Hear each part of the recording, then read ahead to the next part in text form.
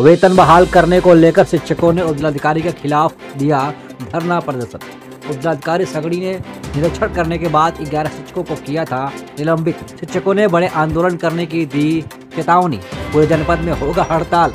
आपको बता दें कि आजमगढ़ ज़िले के सगड़ी तहसील क्षेत्र के स्मिथ इंटर कॉलेज आजमगढ़ के समस्त कर्मचारी वेतन बहाल न होने को लेकर सोमवार को कॉलेज परिसर में ही माध्यमिक शिक्षा संघ मंत्री नरेंद्र सिंह, प्रांतीय मंत्री शैलेश राय एवं जिला मंत्री पंकज चौधरी के नेतृत्व में एक दिवसीय धरना देकर जमकर नारेबाजी करते हुए जिलाधिकारी सगड़ी द्वारा अध्यापकों का उत्पीड़न करने का आरोप लगाते हुए रोके गए ग्यारह कर्मचारियों के वेतन को बहाल करने की मांग करते हुए जमकर नारेबाजी की। और चेतावनी दी कि यदि एक सप्ताह के अंदर कर्मचारियों का वेतन बहाल नहीं किया गया तो पूरे जनपद में चाक डाउन हड़ताल करके उपजिलाधिकारी का विरोध करेंगे।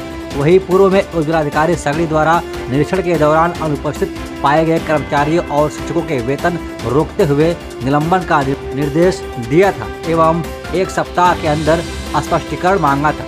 अब शिक्षकों का आरोप है कि खुद प्रधानाचार्य विद्यालय नहीं आते हैं और उस दिन भी अनुपस्थित थे जब एसडीएम द्वारा निरीक्षण किया गया था। पर हम लोगों ने प्रधानाचार्य के माध्यम से स्पष्टीकरण भिजवा दिया था, पर प्रधानाचार्य द्वारा हमारा स्पष्टीकरण काफ़ी देर से दिए जाने के कारण वेतन रोक दिया गया।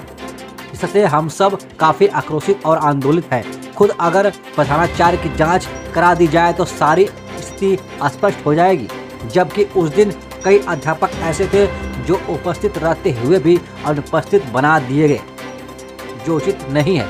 इस संबंध में जिला प्रांतीय मंत्री शैलेश कुमार राय ने कहा कि यदि एक सप्ताह के अंदर शिक्षकों के वेतन बहाल नहीं किया गया तो पूरे जनपद में चाक डाउन हड़ताल करके विरोध करेंगे। वहीं पूर्व में समस्त अधिकारियों को हड़ताल की सूचना देते हुए सोमवार को सुबह से ही शिक्षक विद्यालय परिसर में नारेबाजी और जमकर प्रदर्शन कर रहे हैं। धरना प्रदर्शन करने वालों में अश्वनी कुमार, आसिफ खान, अर्चना शर्मा सिंह पांडे, नवीन विश्वकर्मा, राजेश पंचदेव यादव, प्राम दुलारे, अंबिका महेंद्र यादव बेचूराम अभय श्रीवास्तव, पति राम कुमार, राम बकुल, यशपाल, उमेश सरोज, प्रमोद चौहान, सीमा यादव, सुभाष चंद्र गौतम, हिमांशु, सूर्यनाथ यादव रामजनम यादव और नौसाद अहमद सहित सभी शिक्षक व कर्मचारी शामिल रहे। मैं नरेंद्र सिंह, प्रदेशी मंत्री, उत्तर प्रदेश माध्यमिक शिक्षक संघ। आ, सर आज आप लोग यहाँ पर जो कि स्मिथ इंटर कॉलेज में जो कि धरने पर बैठे हैं क्या मामला है? स्मिथ इंटर कॉलेज इस तहसील के जो एसडीएम होते हैं वो पदेन आदाता होते हैं। उनके द्वारा औचक निरीक्षण किया गया और औचक निरीक्षण में छः शिक्षकों और पाँच परिचारकों को निलंबित किया गया। जिसमें से अश्वनी कुमार, राजेश और आसिफ अपनी अपनी कक्षाओं में पढ़ा रहे थे। उनसे वार्तालाप भी हुआ। शेष जो थे, कर्मचारी, शिक्षक और कर्मचारी मेडिकल अवकाश पर थे। अकस्मात उनकी तबीयत खराब हो गई। उनके द्वारा स्पष्टीकरण मांगा गया प्रधानाचार्य के थ्रू। और प्रधानाचार्य ने स्पष्टीकरण शिक्षकों से प्राप्त किया कर्मचारियों से और उसे एस डी एम के यहाँ प्रस्तुत ही नहीं किया। और अपना स्पष्टीकरण उन्होंने समय से प्रस्तुत कर दिया।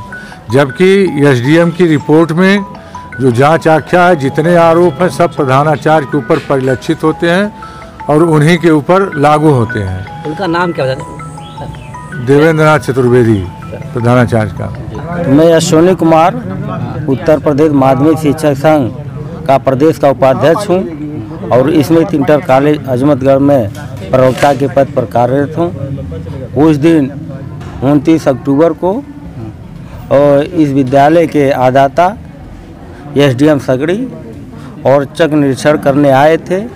उसमें कई ऐसे हमारे साथी जो विद्यालय में कार्यरत थे, शिक्षण कार्य में संलग्न थे, अपने कक्षा में थे। जैसे मैं खुद अश्विनी कुमार, आसिफ खान, राजेश जी सभी लोग विद्यालय में थे।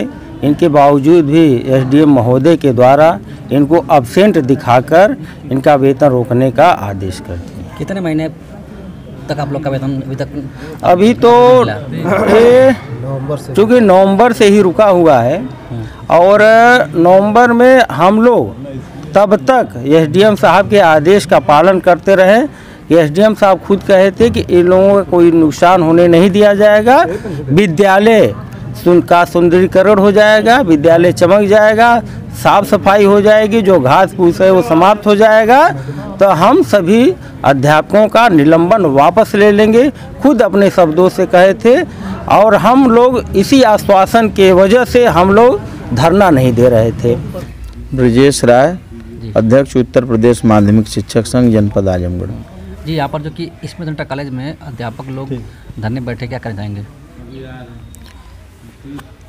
जो यहाँ के एसडीएम जो इस विद्यालय के अदाता हैं, प्रबंधक का दायित्व है, उन्होंने माध्यमिक शिक्षा अधिनियम में जो वर्णित प्राविधान है, उसके विरुद्ध जा कर के हमारे छः शिक्षकों और पाँच परिचारकों का निलंबन किया है। और जो निलंबन के लिए जो एक्ट में जो प्राविधान है कि कठोर दंड अगर हो तभी निलंबित किया जा सकता है, लेकिन केवल हमारे शिक्षक अनुपस्थिति और स्पष्टीकरण के, का जवाब न देने के आरोप में निलंबित किया है, जबकि तीन शिक्षक विद्यालय में उपस्थित थे, कक्षाओं में पठन पाठन कर रहे थे। एसडीएम के इस अवैधानिक निलंबन के विरोध में इकाई शाखा ने निर्णय लिया है कि यहाँ धरने पर उसको ज़िले इकाई का समर्थन है। अभी यहाँ आज के पहले दिन ये धरना चला है। अब इकाई ने निर्णय लिया है कि ये धरना कल से जिला विद्यालय निरीक्षक कार्यालय पर चलेगा। कल से हम लोग जिला विद्यालय निरीक्षक कार्यालय पर जो इस एसडीएम के जो अवैधानिक कृत्य हैं, एज ए प्रबंधक, उसके विरुद्ध हम लोग जिला विद्यालय निरीक्षक कार्यालय पर हम लोग धरना आयोजित करेंगे कल से, निरंतर, और इस निलंबन को समाप्त कराएँगे।